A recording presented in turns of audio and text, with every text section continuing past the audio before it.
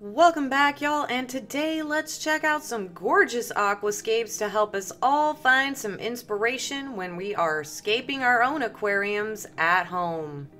But first, next week I do plan on doing another actual tank review. So, so if you have a specific tank that you'd really like to see reviewed here on the channel, please let me know in the comment section below. So without further ado, let's check out some amazing planted fish tanks. So first up, we have a lovely betta tank with a nice piece of driftwood and some really nice stones placed in here along with a few live plants. It really is amazing how much a really unique piece of driftwood and a few stones can really add to a fish tank. Next up, we have aquascaping life goals with a very heavily planted, well thought out tank, complete with a nice little cave for your betta to hang out in. And here we have another great example of how adding a unique piece of driftwood to a planted tank can make for a simple but great looking scape.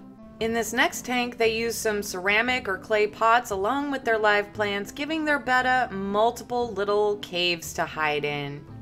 Next, we have another fairly simplistic tank with its choice of plants, a tree stump ornament, and small white stones against a dark substrate. It's definitely not my favorite tank today, but maybe if the stones were more grouped together, it might really, really improve the look of this tank. Now here we have another beautifully done tank with the placement of stones and plants really adding some depth to this aquarium. This is another really, really well thought out tank with the placement of speckled river rocks and plants and sand. It almost looks like a real riverbed. I love this. I think this is my new favorite.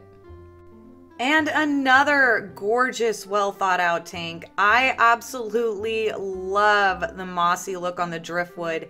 This reminds me of something you would see in a forest. I love it. I feel like this is just a magical forest. And last but not least, I do really love this tank. With the way that they set up the driftwood and plants, it looks as though they have planted a tree in the center of their aquarium and I absolutely, absolutely love it so much.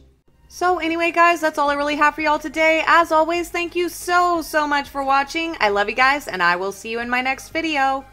Bye!